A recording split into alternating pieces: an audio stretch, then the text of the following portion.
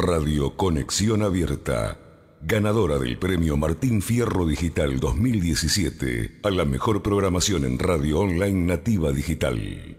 Conexión Abierta, hoy más que nunca, tu medio digital audiovisual. Auspicia este programa.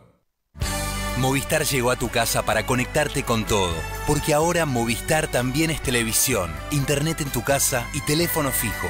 Tenemos cada vez más para conectarnos. Movistar, elegí todo. El monóxido de carbono es un gas peligroso y sin olor. Para saber cómo cuidarte, entra a buenosaires.gov.ar barra salud. Buenos Aires Ciudad. Vamos, Buenos Aires. En Personal Fiber Telecablevisión, creemos que el camino es mejor cuando nos animamos a disfrutarlo. Personal Fiber Telecablevisión. Con vos a donde quieras llegar. Conexión Show es el programa de cultura y espectáculos en donde vas a conocer las opiniones de las figuras más destacadas del cine, teatro y música nacional. Un poco de humor y actualidad, con la conducción de Ale Peñalba por Radio Conexión Abierta.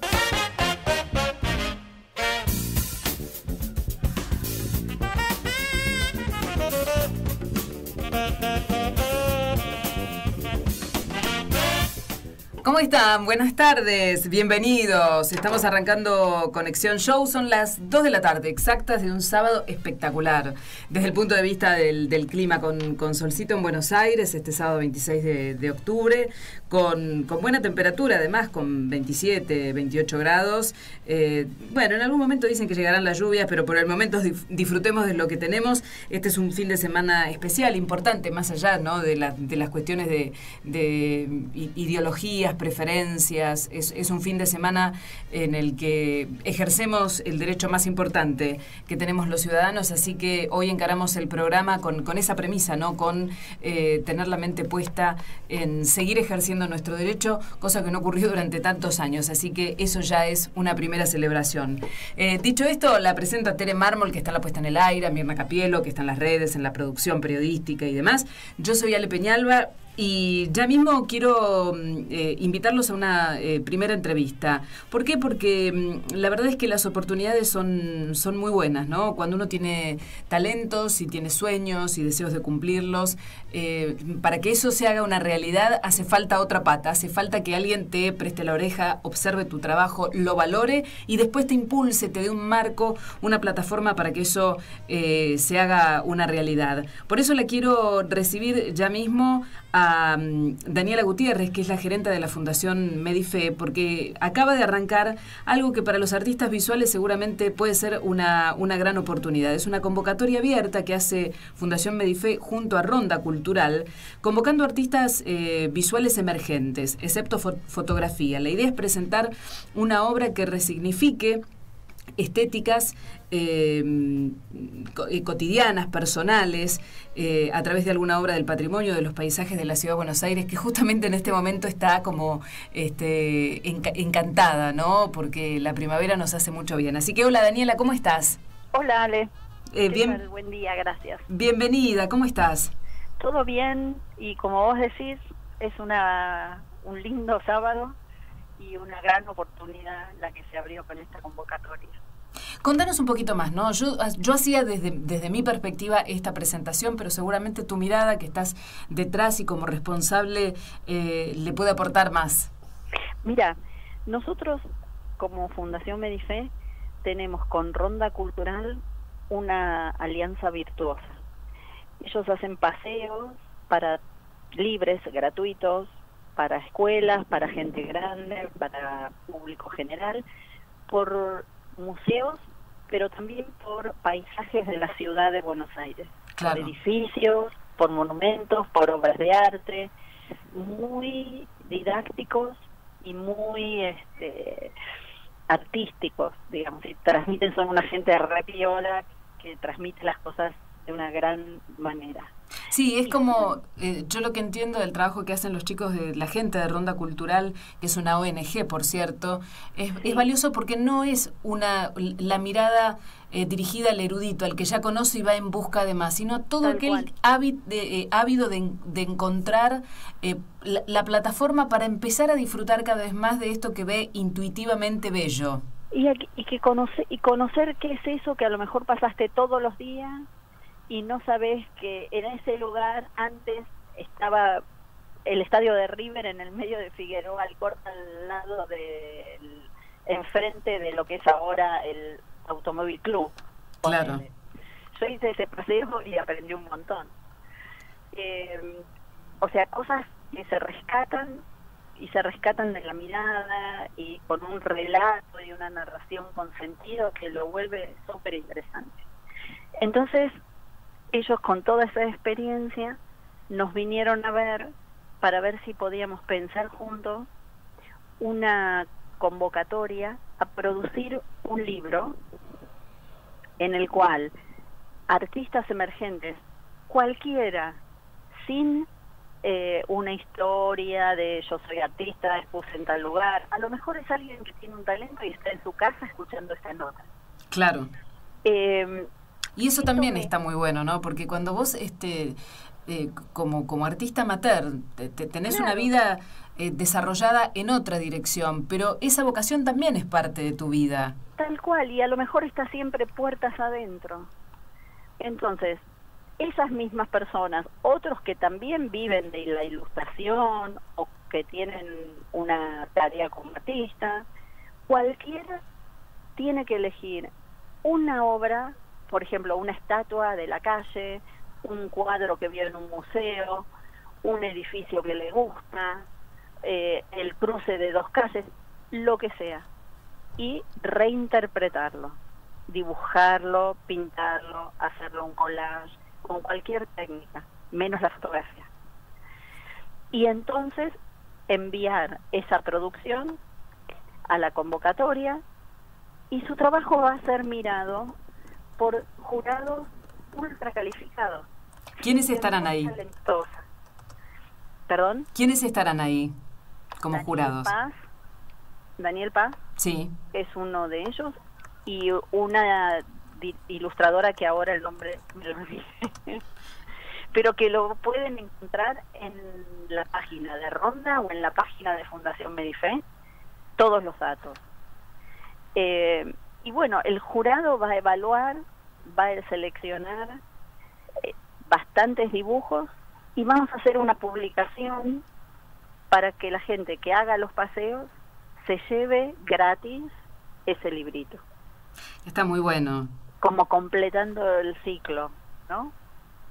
Que eh, vaya con algo lindo que va a ser troquelado, entonces puede colgarse, puede enmarcarse, puede transformarse en una obra de arte en la casa de las personas. Claro, es, es, este, es una manera muy linda de acercar eh, eh, el, arte, este, la, aquello que te hace bien, a la, a la vida cotidiana, ¿no? Eh, sin por eso ser un especialista. Aquel, por supuesto, que está familiarizado desde siempre, aquel que tiene contacto con las obras de arte por su trabajo, incluso por la fortuna de tener obras de arte en su casa, eh, probablemente no lo necesite, pero es tanta la gente que no tiene acceso, que está muy bueno eh, abrir una, mm, aunque sea una pequeña ventana, ¿no? Mira, Fundación Medife es la fundación de una empresa de salud. Y para mí, como directora, como gerente, pero también para toda la gente de nuestro equipo, entendemos salud de una manera muy amplia, que, que va más allá del bienestar eh, orgánico. Que, y que en ese sentido la experiencia estética, la posibilidad de ir a un museo, de escuchar música, de eh, leer un libro, todas esas cosas hacen que vivamos mejor. Sí, más saludablemente. coincido plenamente. Nosotros en este espacio de una hora eh, nos conectamos justamente con eso. Fue un poco mi objetivo. Yo trabajo, soy periodista de espectáculos y de cultura y convivo rodeada de periodistas. Eh, entonces, las redacciones, las redacciones tan grandes, ¿no? Como la de los noticieros de TN y del 13, son redacciones muy, muy álgidas, donde todo el tiempo tengo colegas trabajando temas muy duros como la, la, política, la economía y, luego la información general y, y, policial, donde hay mucho dolor. A mí me ha tocado, eh, casual o causalmente, esta otra vertiente, que es justamente la que le arranca una sonrisa, un, momento de bienestar a todos, los espectadores, los que lo realizan y los que están alrededor mío. Estoy plenamente convencida de que, eh, de que el arte eh, es, es, paliativo, es curador, hace bien. Mira, hace 40 años, no tres siglos, ¿eh? 40 años, eh, vos ibas al médico porque te sentías mal, te dolía algo, qué sé yo, y el médico empezó a recetar, a prescribir, a anotar en un recetario, camine, claro. haga actividad física. Eso era impensable en la medicina antes de ese momento. Jamás el médico te iba a decir que tenías que caminar. Eso estaba para otra gente, para si usted gustaba caminar o para el deportólogo o el profesor de educación física pero no para el médico. Yo espero, digo, así como un objetivo de máxima, que va a llegar el día en que el médico diga, vaya a un concierto, mire un museo, entre, no tenga miedo. Sí, baile, escriba, cante. Escriba, lea, ¿no? Como la experiencia estética que hace bien, que repara, que genera serotoninas y hormonas de la satisfacción y del placer. Y eso es salud, no es otra cosa. No, es, es muy cierto, es, es, una, es un contacto directo con esto así tan amplio y tan difícil de, de, describir, que es la felicidad, ¿no? Eh, probablemente no, no podamos este, hacernos de la felicidad como un estado permanente, cotidiano, para siempre, pero sí de a momentos y, y cuando nos tocan esos momentos, seguramente muchas veces te vienen de la mano de una expresión artística que recibís de otro y que, y que vos mismo podés generar. Tal cual. Vas a una fiesta y bailás y es un momento que tu cuerpo se suelta, se desestructura, si, percibe de otra manera los estímulos. Estás caminando y ves una obra, un cuadro, detrás de un museo, hay que perderle el miedo.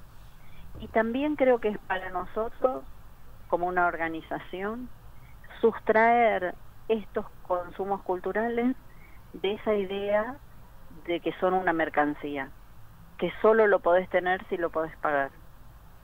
Sí, es, muy valioso también. Entonces, en eso la alianza con Ronda nos viene genial porque entendemos igual y lo pensamos y nos gusta acercar el arte a la gente. Mira, eh, es cierto que cuando uno hace una entrevista, en general lo que busca es hablar eh, eh, y dar más espacio al, al otro, pero sí me, gustaría contarte que un poco como eje temático hoy buscamos este, enfocarnos en historias de vida. Luego hablaremos de una historia de vida que tiene que ver con, con uno de los espectáculos del 25 de mayo, donde se representa un, un espectáculo de, de Gardel. Eh, y, y, un espectador de 90 años que lo vio a Gardel en su última presentación allí eh, y que ahora estuvo de vuelta hace poquitos días visitándolo. Pero la próxima nota es una nota que tiene que ver con una artista plástica muy destacada argentina, Nora Slam. Eh, y Nora... La, recontra conozco. Bueno, Nora, además de sus talentos como artista y su trayectoria larguísima, eh, en este momento es la curadora de, de una exhibición, de una exposición en la que los artistas son todos jóvenes y, claro jóvenes y no tan jóvenes con, con distintas formas de discapacidades o, o capacidades distintas. En primera instancia su propia hija que es una mujer de mi edad 47 años y que en algún momento como parte de la terapia que le indicaron eh, y que es una terapia crónica, es de por vida, nunca va a dejar de hacer esos tratamientos con su equipo eh, médico, apareció la pintura, la expresión, la escultura, el collage, aquello que se hace con las manos. Y los vi en escena para una, los vi en vivo ahí en acción para una nota que hice para, para la televisión y me quedé realmente fascinada, convencida de esto que vos decís, ¿no? Que más allá de las cuestiones estrictamente que mm, eh, trabajan los médicos a la hora de, diagnosticar y, y de prescribir un tratamiento, claramente este otro aspecto ayuda mucho, contribuye mucho, no puede reemplazar, pero tampoco puede estar ausente. Totalmente. Conozco muy bien el trabajo de Nora, lo que ella hace como curadora de esta muestra. Conozco la obra de su hija y de otra gran artista. Ay, qué suerte que la conoces. Que es Laura Weisman, que está en esta muestra y la verdad que sí, coincido plenamente que eso, eso las hace vivir mejor. Eh, la, verdad es que son, eh, yo estoy convencida y me gusta hacer este programa porque me permite hablar de estas cosas, ¿no? Del espectáculo, a veces estrictamente como un, como, como un entretenimiento, otras veces con este otro costado terapéutico, inclusivo, el que le da oportunidades a los que no son profesionales o a los que son emergentes y están arrancando. También cuando hablamos de, de turismo, porque el turismo yo lo entiendo modestamente, ¿no? No como un, como un gasto, sino como un derecho, salir y de acuerdo al, bolsillo, el presupuesto que tengas en ese momento, eh, te acomodarás para, para conocer este que es, también tu casa, más allá de tus cuatro paredes, ¿no? Irte al mar, que también es un poquito tuyo, irte a una montaña, que también es un poquito tuya. muchas veces la gente que viene a hacer los paseos de ronda descubre la ciudad en la que vive, como si fuera con los ojos extrañados, ¿no? De un turista. Sí, porque muchas veces estamos tan automatizados que, que bueno, y, lógicamente, no es una crítica, ¿no? Andamos con mil preocupaciones, corriendo, el, día resulta muy corto. Eh, bueno, entonces pasás y te perdés una parte de los jardines maravillosos que tiene la ciudad, de las cúpulas, de los edificios, de entrar a un museo grande o chiquito que tiene cosas que te hacen bien. Así que por eso me gusta el, el trabajo que hace la gente de Ronda y por eso también quería contar esta oportunidad. Bueno, muchísimas gracias por difundir la convocatoria y el trabajo de tanta gente que hace cosas para que todos estemos mejor y vivamos un poco con una calidad de vida más rica. Tal cual. Eh, bueno, somos mujeres, este, me parece que como condición, este, como, como, como cosa común, somos de conversar mucho este, y muy rápido, así que como para redondear esto, eh, Daniela, en fundacionmedife.com.ar van a encontrar todos los datos para no quedarse afuera, la convocatoria está abierta hasta el 11 de noviembre, ¿no es verdad? Exacto. Bueno, te agradezco un montón. Gracias, Ale. Porque sé que estás en una actividad social de las otras que también hace bien, es sábado. Así que gracias por estar acá, eh, te deseamos lo mejor y cuando esto esté cerrado volvemos a conversar.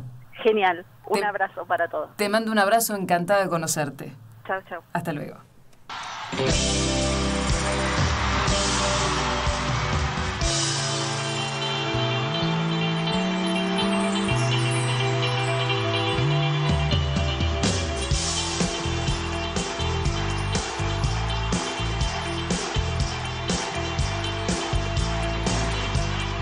Pongámosles alas a Buenos Aires. Deberás volar por la ciudad de la furia, donde nadie sabe de mí y yo soy parte de todos, nada cambiará con un aviso de curva sus caras veo el temor. Ya no hay fábulas en la ciudad de la furia.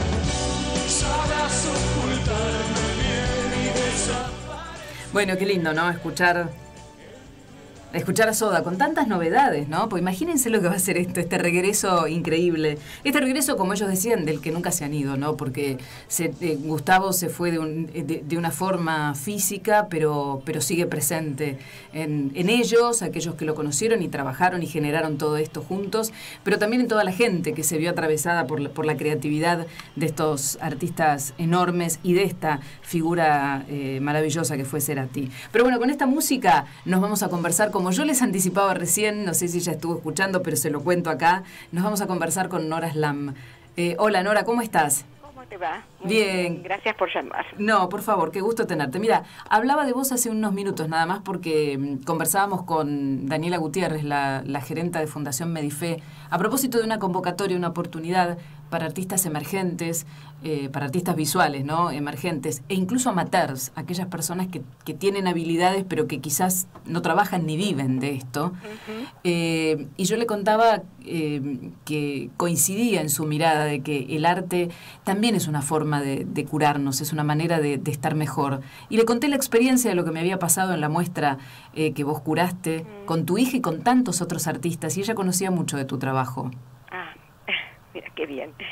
Mira, yo pienso que el arte es una manera de estar en el mundo, una manera muy hermosa de estar en el mundo, no, no solo para las personas que, que no han atravesado esa experiencia y no han decidido que eso es su métier, sino para la gente en general. lo que tiene de característico esta muestra es que hemos reunido eh, la obra de 22 artistas son 60 obras que estamos mostrando y que este es el comienzo de un proyecto que se va a extender a muchísimos más artistas, a territorio más vasto en, en, nuestro propio territorio. Tenemos que hacer un relevamiento de la cantidad de gente que hace arte auténticamente sin saberlo y que, y que habita nuestro territorio y que es un es un, una especie de forma de hacer arte que, que Jean de Buffet la llamó Art Brut en el año 45, pero que este, nosotros la llamamos arte singular, porque está hecho por personas eh, en el margen del, del, sistema del arte. Son personas que no exponen en galerías, que no van a ferias de arte, que seguramente no leen sobre arte, pero producen. Y producen cosas espontáneas, muy increíbles, de mucho valor, y que vale la pena estimular y darles visibilidad, porque eso es lo que estamos buscando. Es como si fuera un escenario vacío, ahora que la palabra escenario se usa tanto en las radios y, y hablando de los escenarios políticos. Este escenario es un escenario que está vacío, que, que no está iluminado. Y que hay que prenderle la luz. Actores que pueden subir ese escenario y actuar y maravillar a todo el público. Entonces lo que hay que hacer es eso. Sí, tal cual. Me, me, parece que por ahí va la cosa, ¿no? Porque eh, estamos en, en, algún sentido todos, o casi todos, tan metidos adentro del sistema. El, el, sistema se perfeccionó tanto a lo largo de los últimos, pongamos, 150 años, que esta mirada singular eh, y sin los preconceptos, ni las etiquetas, ni, ni la carga que te pone en el chip el sistema, hace mm, eh, que, que, la producción de estos artistas sea muy, muy, muy pura, muy, muy limpia, muy transparente, muy genuina. Es muy fresco, eso lo vimos el día de la inauguración, el, el, el, el entusiasmo que había, no solo en los artistas, descubriéndose ellos mismos, como, como con otra beta de su personalidad muy valorada por los demás, sus familias y la gente que venía y que no tenía la menor idea de lo que iba a encontrar. Entonces, esto ha sido una experiencia que a mí, por ejemplo, que hace muchos años que percibo esta idea y que no la, no la podía concretar, a mí misma me ha producido una sorpresa y un, y un placer y una emoción absolutamente no termino de, de, de acostumbrarme. Es, es una cosa como, ha sido una cosa como explosiva y dan muchas ganas de continuar. Vamos a necesitar el concurso de muchas voluntades, eh, de todo tipo, gente que estudia también el campo, que vea cómo es esto en, en nuestro país, la posibilidad de viajar por todas las provincias y, y hablar con los con las personas que nos pueden ayudar a descubrir, porque debe haber algunas pepitas de oro en todos lados. Así que es muy fantástico. Eh, va a llevar mucho tiempo, va a insumir eh, fondos que seguramente tenemos que conseguir, pero en la medida que se conozca y la gente lo conozca, vamos a poder convencer espontáneamente a la gente. Eh, la muestra se cierra el día 30, que es ahora nomás. Hoy hacemos una especie de festejo eh, de esto que ha sido tan emocionante con los artistas. Vamos a eh, es una celebración. Vamos a juntarnos en el más acá eh, a las a las seis de la tarde y vamos a brindar y vamos a mostrar lo que hacen y lo que hemos hecho y lo que hemos logrado. Y aún quedan después, eh, el lunes, martes, no sé qué día cae 30, pero digamos... Me parece que miércoles. Miércoles, bueno, quedan esos días de 12 a 19 en el más acá, que es en la calle Caseros 514 este, en una, una, casona enorme y preciosa que vale la pena conocer también porque tiene una bella librería, vale la pena. Y, este, y esperamos que la gente venga a acompañarnos y a darles, eh, y darles estímulo a estos artistas porque lo merecen muchísimo. Sí, eh, eh sin, sin, lugar a dudas, me, me, parece que está perfectamente expresado, es muy emocionante por los artistas, por lo bien que le, le hace a, a sus este, seres más directos, más, más próximos, eh, hablan, pensando más allá de la experiencia estética, ¿no? Eh, cómo la, la, la, expresión estética y el simple hecho de poder, de poder expresarnos eh, nos libera, nos mejora, entonces ahí hay una, una transformación en la calidad de vida para, para el protagonista y para la gente que lo rodea, pero después también lisa y llanamente para los que vamos a ver desde afuera. Sí, es, es a varias puntas. Para ellos expresarse, muchos de ellos no pueden expresarse con la palabra o lo hacen con dificultad, otros no. Eh, la verdad que el abanico es muy variado y lo hemos elegido a propósito así, ya que esto fue una muestra de lo que hay. Eh, tratamos de elegir gente con diversas dificultades y diversas, este, eh, digamos, discapacidades en un, en un, de una manera o de otra, pero que para descubrir sus propias capacidades y para poder eh, ser valorados por eso. Yo lo digo además en este caso particularmente también como madre porque porque mi hija participa eso no fue lo que generó todo este proyecto, pero esto le dio como, como otra beta más. O sea, yo venía enamorada de este arte hace mucho tiempo, desde los años 80, que lo vi en Suiza, en, el Museo del Art Brut de la ciudad de Lausanne, pero luego resultó que en mi casa tenía una persona que, que entraba dentro de, ese, de esas características y yo veo lo que para ella representa verse y, y reconocerse de esa manera. Es un cambio extraordinario. Eh, bueno, Nora, la verdad es que me encanta eh, eh, poder difundir esta, esta propuesta porque creo que les hace muy bien a aquellos que la generaron, pero me parece que nos hace muy bien a todos.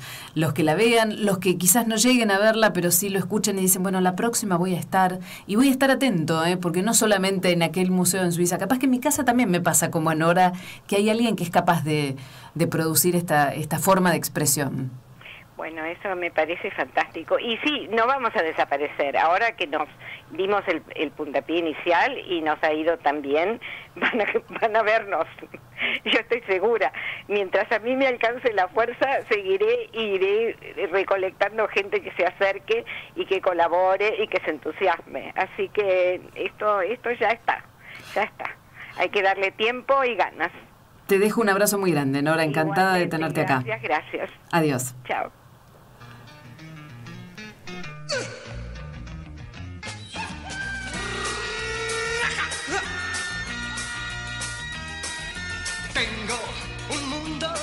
Sensaciones, un mundo de vibraciones que te puedo regalar. Tengo dulzura para brindarte, caricias para entregarte, si tú me quieres amar. Serán los días más felices que puedas tú vivir, con luz de mil matices que tengo para ti. Brazos para abrazarte, mil bocas para besarte, mis sueños puestos en ti. Tengo poemas de amor y rosas y cosas maravillosas. Qué lindo que es escuchar a, Sandro. Y lo, traemos hoy a Sandro porque justamente por estas horas, eh, a partir de las 15, se está inaugurando un gran castillo, museo, centro cultural que tiene que ver con la enorme, gigante figura de, de este artista, de Sandro, y de este hombre además, que fue Roberto Sánchez, porque fue las dos cosas, fue el artista y el hombre.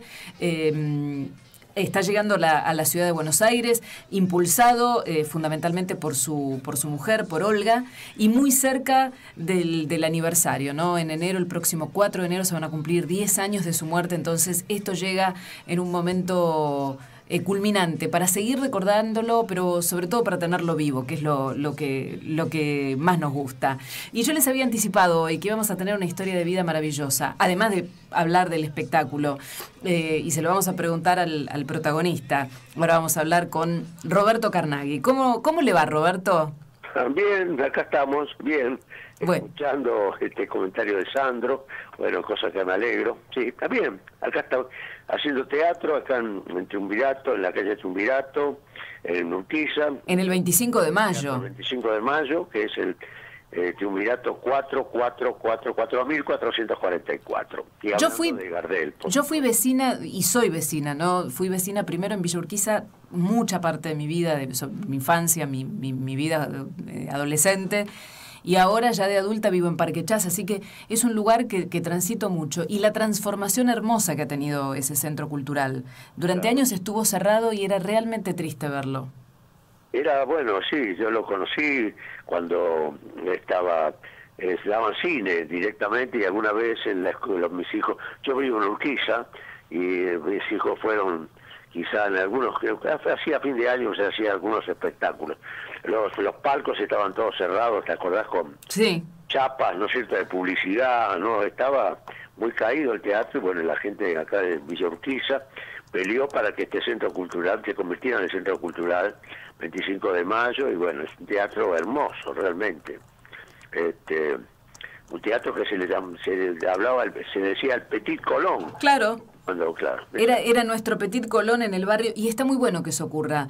Eh, y cada vez más, porque la ciudad nos está quedando cada vez más grande, es muy difícil trasladarse. Entonces, eh, cada barrio necesita eh, tener su, su propio espacio. Después aquel que tiene ganas puede, se traslada al centro, pero descentralizar la producción artística.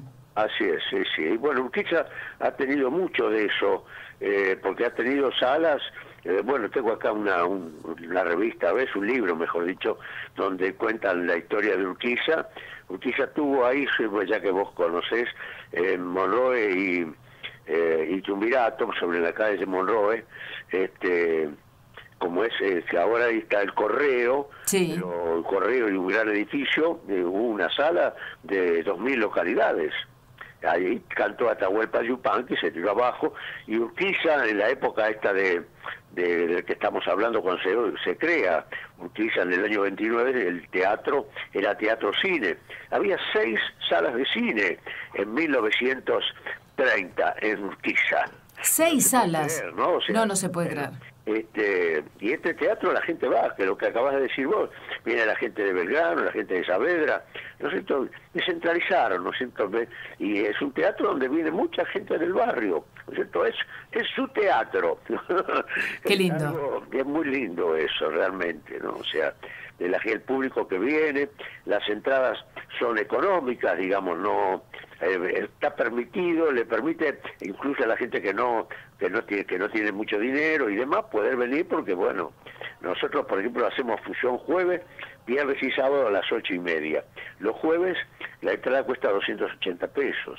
Sí, es realmente un muy buen, Bueno, muy buen bueno, precio, ¿no? teatro está la orquesta de Buenos Aires, la orquesta de tango de Buenos Aires. Tenemos 25 músicos arriba del escenario, aparte de los actores.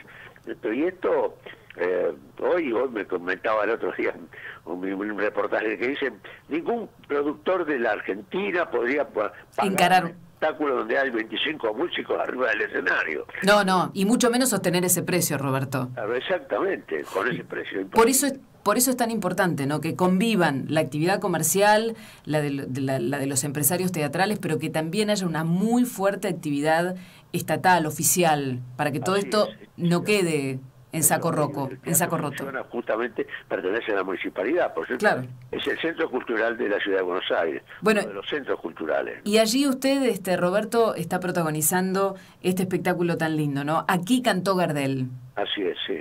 Que se ajusta a la realidad, porque allí cantó, ¿fue su última presentación? El, la última presentación de él en el teatro. En el teatro. La última fue, él hizo una función el sábado, este, nos referimos a Carlos Gardel, ¿no? Sí. Este, y, eh, y el domingo hizo Vermu y Noche. Y bueno, cuando termina la función, eh, sale con su guitarra ya en la mano este, para cantar para la gente que estaba en la calle que no había podido ingresar. ¿no es cierto? Se paró el tránsito, el tranvía, bueno, todo esto que yo te comento este, se debe también a un señor que ha venido, hicimos incluso ayer una nota eh, para, este, para el Canal 7. Homenajearlo, ¿no? Para un señor que vio a Gardel a los seis años.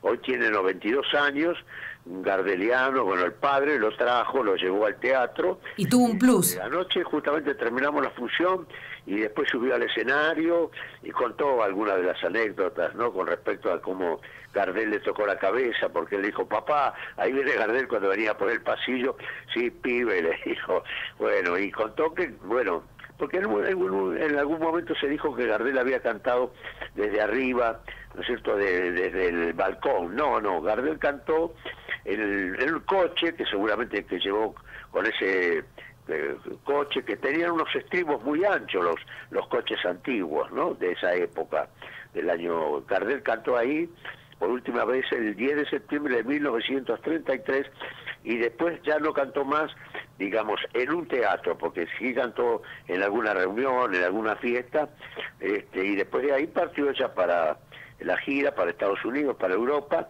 ¿Esos fueron los años en Estados Unidos? Y este señor, este, que se llama Juan Antonio Bravo, sí. este, fue con el padre y eh, se convirtió en un garderiano eh, increíble porque trabajaba eh, hasta los 75 años, trabajó en la Chacarita haciendo este, las bóvedas, ¿no? Trabajaba de eso. Entonces, él, lo contó anoche, diciendo que empezó a fumar estando en el servicio militar, entonces cuando trabajó ahí en la Chacarita haciendo este, las bóvedas y demás, le puso todos los días le ponía un cigarrillo. Qué lindo. A Carlos Gardel en la estatua que está de Carlos Gardel hasta los años que él trabajó, hasta los 75 años. Qué anécdota maravillosa. Recordaba, sabe todas sus canciones, ¿no es cierto? Toda una historia increíble, pero fundamentalmente eso, ¿no? Que apareció este este hombre, ¿no es cierto? Y con una memoria, además está, está entero. Está espléndido está espléndido, ¿no? Subir al escenario. Pero fíjese, Roberto, es como el, es como el ciclo, ¿no? Hablábamos del teatro que tuvo su momento de esplendor, después estuvo totalmente abandonado y ahora, por suerte, nuevamente en actividad. Y tener a este, a este, a este hombre eh, contando esa anécdota tan hermosa de aquel encuentro con Gardel y ahora otra vez presente allí, con toda su vida vivida y, además con toda una vida dedicada a admirar a Gardel, es realmente una anécdota maravillosa una nota bárbara. Anoche vino, vino, vino la, la hija, eh, la, la nieta y una bisnieta, vinieron todos, ¿no es cierto? Bueno, y cuenta, y no solamente habló de Gardel, sino de toda esa época, quién fue la primera mujer que tocó, esto porque también está la chacarita, quién fue la primera mujer que tocó el, el bandoneón. ¿Y quién fue? Porque no había mujeres que tocaran el bandoneón. ¿Se acuerda?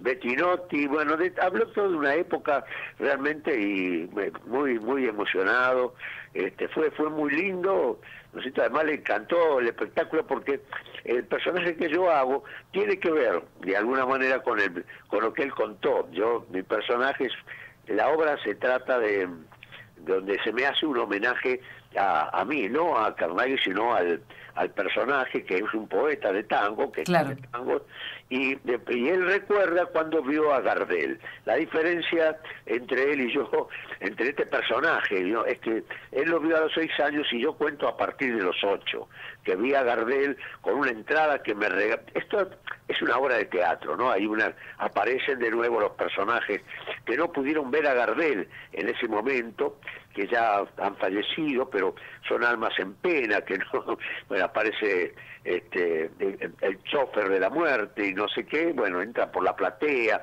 es un espectáculo maravilloso, este, conmovedor además, y, y- pero no es un espectáculo triste, no es un, digamos, no, no es ba- bajonear, ¿no es cierto? Gardel Claro. recordado acá con con alegría, con una con lo que era, como si estuviera vivo. Como y sí, Eh, bueno, y este, lo que yo cuento justamente, que yo entré por primera vez y vi a Gardel y a partir de ahí el tango me atrapó. ¿no es cierto? y no lo largó más. Eso escribo tangos y demás, escribo poesía. Y entonces, es lo que le pasó a este hombre. Me decía, él lo comentaba y dice, lo mismo, él entró y quedó copado con Gardel. ¿No Qué lindo. Bueno, este, Qué, qué historia maravillosa, qué linda historia de vida, qué lindo que haya podido compartirlo, ¿no? Este, este, este vecino con su, con su hija, con su nieta, con una bisnieta, y que haya tenido toda una vida de trabajo ahí con Gardel tan cerquita, con una forma de Gardel, ¿no? Este, porque Sí, sí, no es gardeliano, Claro. que conoce todo, tiene toda la música de él. No, bueno, pero además que esté tan vivo y, y Claro. que cuente cosas, ¿no es cierto? Eh, había, hay un dicho famoso, que no es mío, por supuesto, que dice, cada viejo que se muere es una biblioteca que se muere.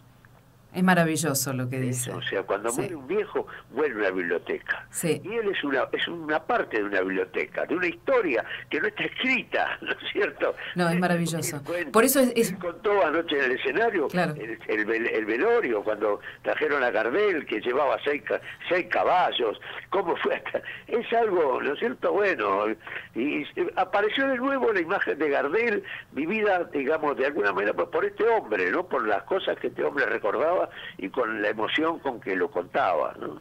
Es, es muy lindo. Fue muy lindo, de verdad fue, fue muy lindo. Que nunca nos falte Gardel, eh, porque realmente es, es un artista enorme, pero tampoco que nos falten estas bibliotecas, ¿no? Escucharlas, tener toda esa tradición oral. Así que, Roberto, yo le agradezco muchísimo. Hoy es sábado, se tiene función, le agradezco mucho que se haya hecho este ratito para Por contarlo. favor, por favor, que, que recordemos estas cosas, que, que le demos importancia realmente, ¿no? O sea, a, a algo que fue tan tan importante como fue Gardel y lo que le pasó tan conmovedor para tengo incluso eh, acá enfrente de mi casa tengo una persona que yo siempre invito al teatro bueno es electricista y demás y también vino y no me contó absolutamente nada vino con su mujer y al día siguiente me llama por teléfono y me dice yo no te quise contar pero mi papá estuvo en la gente que vio a Gardel en la calle, no entró al teatro.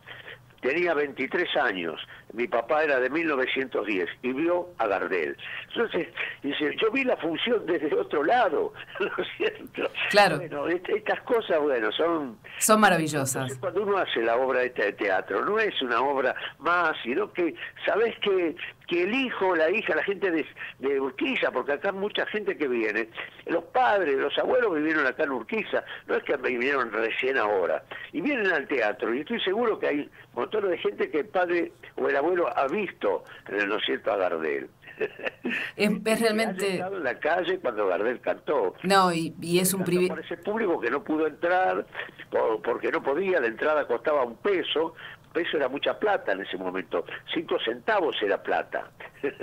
Entonces eh, hubo gente que, esas cosas de salir ya con la guitarra en la mano para salir a cantar, ¿no es cierto?, a ese público que lo estaba esperando, bueno, es increíble realmente, increíble que se haya hecho este teatro, lo que acabo de decir vos. Este teatro se empezó a, a construir en el año 24 y se estrenó en el año 29, en mayo, por eso se llama 25 de mayo, Claro. porque le pusieron el día de la inauguración. En cinco años se hizo en Urquiza, cuando Urquiza eran todas calles de tierra, campo. Claro, la grandeza de la Argentina de esos tiempos, la ¿no? grandeza de la Argentina. Y de gente con una visión Claro. de la cultura, ¿no es cierto? En perspectiva. Al, al ciudadano, de alguna manera, un grupo de gente que decide construir ese teatro, ¿no? Bueno. Es bárbaro, es bárbaro. El teatro es hermoso, el teatro es hermoso. El, teatro es, es, hermoso y yo vi su espectáculo el día de, en, el marco del Festival de, Tango, así que no se lo pierdan.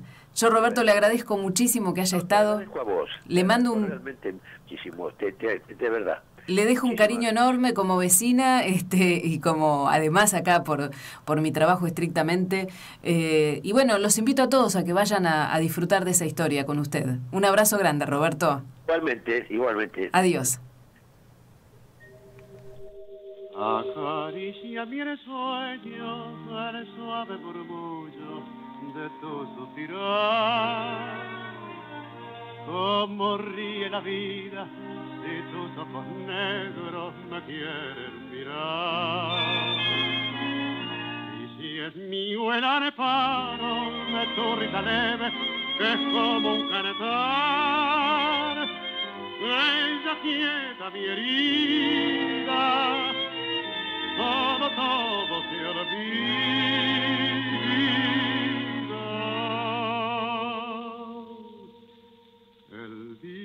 Que me quiera, la Qué lindo que es escuchar esto, ¿no? Como que se nos este, llena el corazón. Bueno, eh, estrenaron en, el mes de agosto, el 8 de, agosto de este año. Ahí están Guido Botofiora, Laura Silva, Omar Caliquio, que es un, artista extraordinario de, los musicales fundamentalmente de, Buenos Aires, y por supuesto Roberto Carnaghi, que es un auténtico maestro, ¿no? Eh, y además destacar la dirección musical y la composición de los maestros Néstor Marconi y Juan Carlos Cuachi. Una historia de vida muy, muy linda. Por esto justamente lo que un poco intentamos retratar hoy. Em, aquellas cosas que, te hacen bien y que te engrandecen la vida, ¿no? Esta historia de vida de un espectador que vio a Gardel y tuvo ahí un intercambio tuvo la suerte de que le dirigieron unas palabras, una mirada, le tocara la cabeza, semejante ídolo y que ahora a sus 92 años con toda una familia eh, detrás creada por él, volvió a ver esta historia sobre Gardel. Bueno, estamos súper contentos. Pero los quiero, los quiero invitar, mientras este Gardel nos acompaña, a hablar de algo que va a ocurrir en unos poquitos días. El próximo 6 de 6 de noviembre, en unos días nada más. ¿Por qué? Porque CAPA, que es eh, la Cámara Argentina de Cosmética y de Perfumería, eh, viene a desarrollar no solo una celebración de sus 20 años, ¿no? El tango dice que 20 años no es nada, pero la verdad es que en la vida 20 años es un montonazo. Eh, y lo van a hacer con, con un festejo en el que además se le va a dar una enorme importancia a uno de sus programas de responsabilidad social. Es eh, luzca bien, siéntase bien, especialmente dirigido a las mujeres que eh, están transitando una recuperación después de un cáncer, cáncer de mama o un cáncer. Eh, por supuesto, los efectos de, de los tratamientos son por un lado imprescindibles, ¿no? Porque eso es lo que permite sanar, pero también hay efectos muy, muy dañinos, muy, muy devastadores. Entonces, que, te tiendan una mano para ofrecerte la posibilidad de verte mejor es realmente muy bueno. Así que conversamos con la responsable de CAPA y nos fue contando desde los orígenes de, de CAPA y sus funciones y sus miembros hasta puntualmente la celebración. Esta es la conversación. Mi nombre es Gisela Gulli y soy la coordinadora del programa Luzca Bien, Siéntase Mejor de la Cámara Argentina de la Industria de la Cosmética y la Perfumería. La Cámara Argentina de la Industria de la Cosmética y Perfumería es una asociación civil sin fines de lucro que fue fundada en marzo del 32. Eh, cuenta con asociados con las principales empresas representativas del sector de la belleza y de la perfumería, grandes, medianas y pymes. El programa Luzca Bien, Siéntase Mejor nace en Estados Unidos en 1989. En realidad em, es una, organización sin fines de lucro y este, esto nace con un médico que se acerca al presidente de la Cámara que quería conseguir maquillajes para una mujer que estaba en tratamiento oncológico y que experimentaba los efectos colaterales de la quimioterapia. La mujer estaba sumamente deprimida y no quería salir de la habitación. Entonces eh, se acercó este médico al presidente a ver si le podía conseguir productos cosméticos y un maquillador justamente para que le ayudara a cómo aplicarse los productos. Milagrosamente el maquillaje transformó no solamente el aspecto de la mujer en su exterior, sino que la hizo sentir eh, muchísimo más segura, confiada, con una actitud que hizo que milagrosamente también su tratamiento fuera mejorando. Eh, todo esto hizo eh, pensar que la cosmética desempeñaba un eh, punto sumamente importante en lo que es el autoestima y enfrentar un tratamiento tan importante como el tratamiento oncológico. De esa manera, los líderes industriales de, la cosmética en Estados Unidos inmediatamente ofrecieron fondos y productos para el desarrollo del programa. Eh, al darse cuenta ¿no? lo importante que era eh, el tema de la belleza en las mujeres. Este programa comenzó en Estados Unidos, Canadá, Inglaterra, Irlanda, Francia y eh, cumplimos este año 20 años. Eh, lo vamos a festejar en un evento, en un cóctel, donde los principales pilares ¿no? de este programa son, bueno, desde ya las beneficiarias, por eso existe este programa, que son las mujeres que están en tratamiento oncológico, las empresas de maquillaje y perfumería, que nos donan, gracias a sus donaciones, es que podemos llevar adelante este programa pues a estas mujeres en los talleres no solamente que les enseñamos las técnicas del maquillaje, sino que también ellas se llevan un kit de productos para utilizar tanto en el taller y luego llevarlas a la casa y practicar, porque además se les da un manual donde ellas pueden seguir las técnicas que nosotros les enseñamos. Por lo tanto, las empresas son un pilar fundamental para nosotros. Y el tercer pilar son las voluntarias que gracias a ellas, al profesionalismo, al amor, a la entrega total, es que se llevan estos talleres adelante. Actualmente contamos con entre 60 y 70 voluntarias a nivel país. Eh, dictamos eh, aproximadamente 90-95 talleres anuales eh, llegando a, 1.700, 1.800 eh, beneficiarias este, por año. Eso da aproximadamente unas 20.000 beneficiarias hasta el momento. Para informarte más acerca de los talleres, puedes consultar en nuestra página www.luzcabien.org.ar. Ahí están todas las instituciones, hospitales públicos, e instituciones privadas en donde se realizan todos los talleres eh, mensualmente a nivel federal. Estás escuchando Conexión Show con Ale Peña.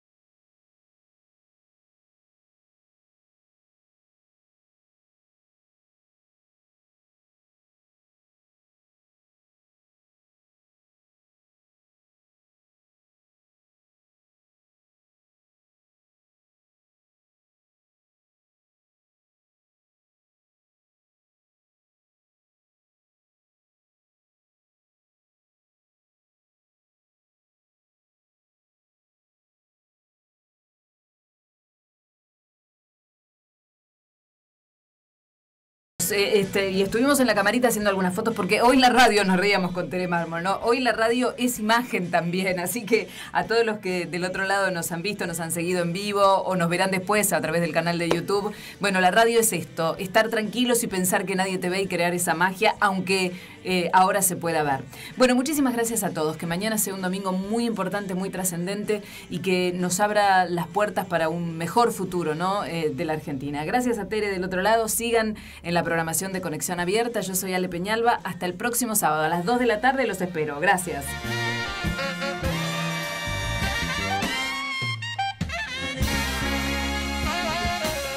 Ale Peñalba está en Radio Conexión Abierta.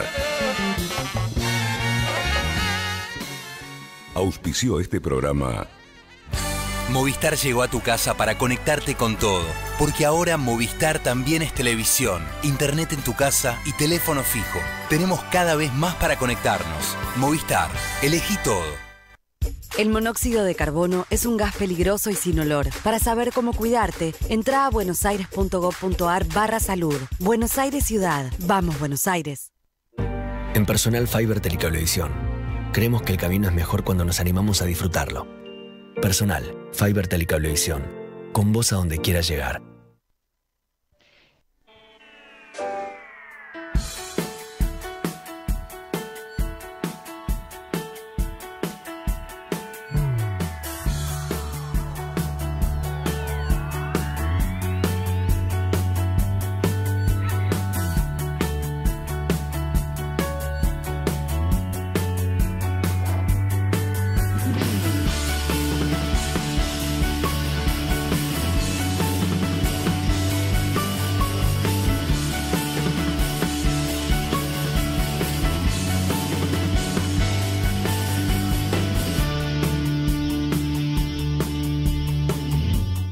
De espacio publicitario en Conexión Abierta. Este medio está asociado a CADEMAD, Cámara Argentina de Medios Audiovisuales Digitales.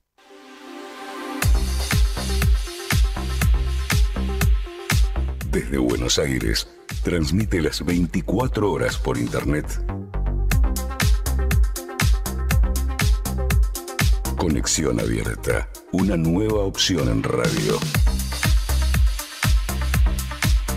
Conexión Abierta, tu medio audiovisual.